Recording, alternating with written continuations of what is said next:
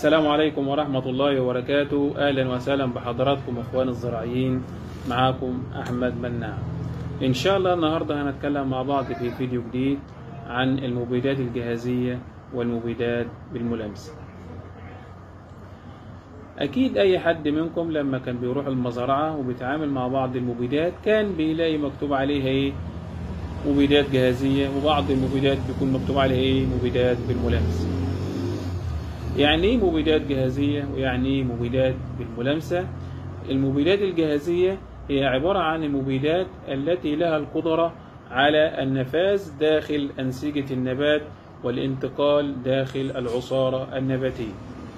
يبقى المبيدات الجهازية عبارة عن المبيدات التي لها القدرة على النفاذ داخل أنسجة النبات والانتقال داخل العصارة النباتية.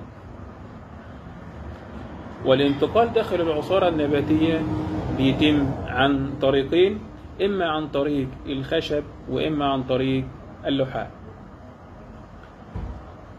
الانتقال عن طريق الخشب زي ما إحنا عارفين إن الخشب عبارة عن أوعية بتنقل الماء والأملاح اللي هي العناصر الغذائية الغير مصنعة زي سماد نترات النشادر سماد اليوريا سماد سلفات النشادر أي سماد إحنا بنضيفه بينتقل عن طريق الخشب ثم إلى الأوراق إلى أعلى بتتصنع في الأوراق عن طريق عملية البناء الضوئي وبتنتقل مرة أخرى إلى اللح... إلى باقي أجزاء النبات عن طريق اللحاء.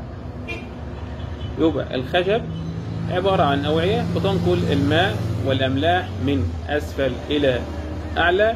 أما اللحاء بينقل العناصر الغذائية المصنعة في الأوراق ودي بتكون عبارة عن سكريات ودهون وبروتينات بتنتقل من الأوراق إلى باقي أجزاء النبات. وعشان نوضح الصورة أكتر مع بعضينا قال ده عندنا إيه؟ نبات. نعرفكم الأول فين؟ الخشب وفين اللحاء. ده عبارة عن الخشب. اللي جوه ده عبارة عن إيه؟ الخشب. والطبقة الخارجية دي عبارة عن اللحاء. الطبقة الخارجية عبارة عن اللحاء والطبقة الداخلية دي عبارة عن إيه؟ الخشب. طبعا لما إحنا إيه بنضيف العناصر الغذائية زي مثلا وليكن آدي سماد مثلا ده سماد اليوريا أهو. ونضيفه إيه للنبات أهو. النبات بيمتص العناصر الغذائية والماء عن طريق الخشب اللي أنا وريته لكم وبينتقل إلى الأوراق.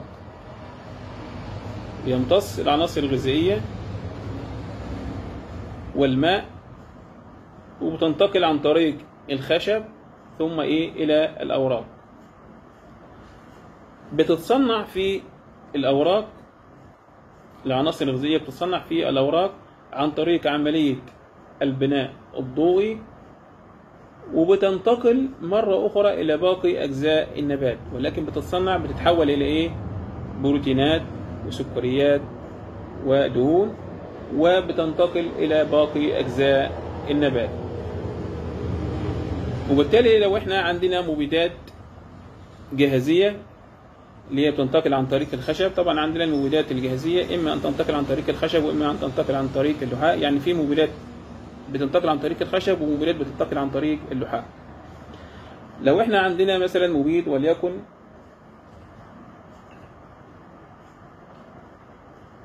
سواء استخدمنا المبيد وليكن ما استخدمناه عن طريق مثلا الحق في ماء الري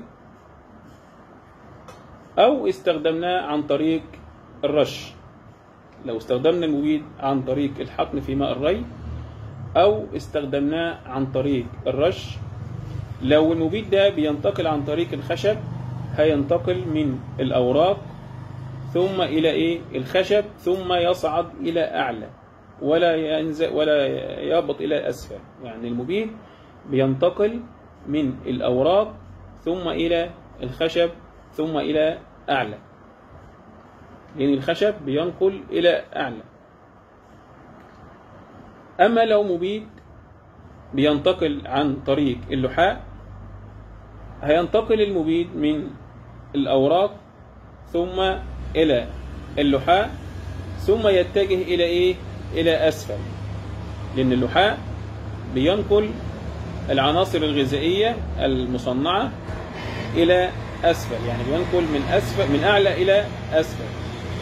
يعني لو أنا رشيت المبيد على النبات هينتقل المبيد من أسفل من أعلى إلى أسفل على عكس إيه؟ الخشب بينقل من أسفل إلى أعلى. وضحت كده؟ إن شاء الله وضحت بإذن الله. يبقى دلوقتي قلنا إيه؟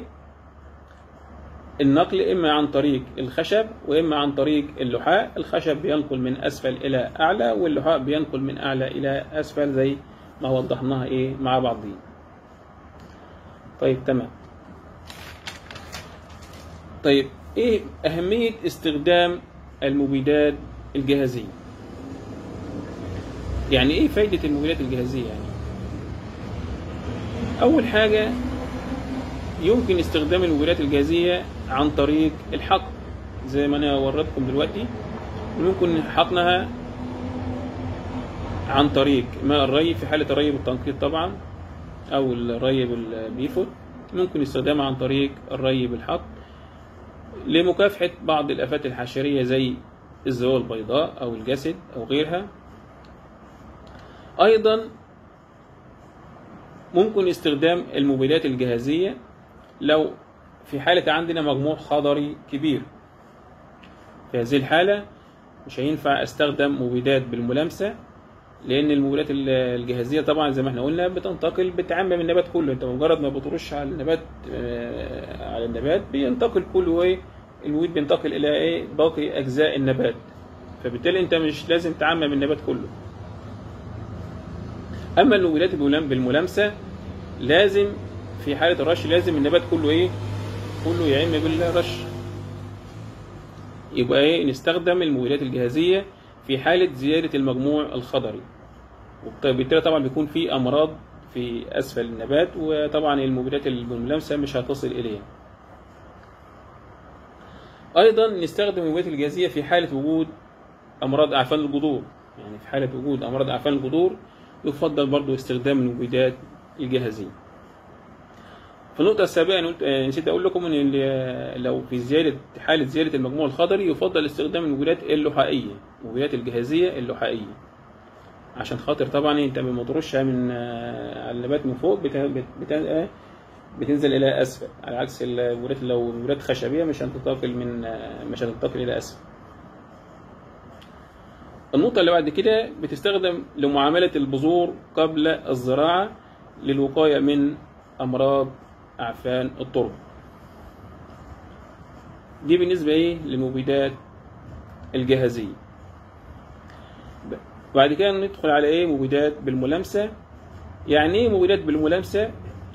مبيدات بالملامسة يعني هي عكس المبيدات الجاهزية مبيدات الملامسة هي عبارة عن مبيدات ليس لها القدرة على اختراق أنسجة النبات وبالتالي لا تنتقل داخل أنسجة النبات.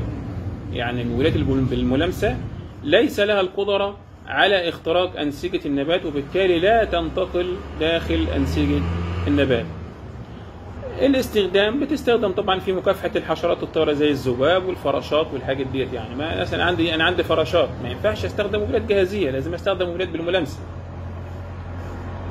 أو الذباب يعني إيه في هذه الحالة بنستخدم مبيدات بالملامسة مش محتاج إن أنا أستخدم مبيدات جاهزية أيضا بتستخدم في مكافحة الديدان القارده زي دودة ورق القطن والساقبات الديدان الخضراء وكده يعني. وبرضه بتستخدم في مكافحة الحفار والدودة القارده طبعا بتتعمل إيه؟ لما بتضاف مع الطعم السام يعني المغروش يعني إنه بيضاف مع الطعم السام وتتنسر فيه باطن الخطوط. دي بالنسبة للمبيدات بالملامسه وبكده نكون وصلنا لنهاية الفيديو. أتمنى إن هو يكون يكون استفدتم حاجة. دمتم في رعاية الله وأمنه السلام عليكم ورحمة الله وبركاته.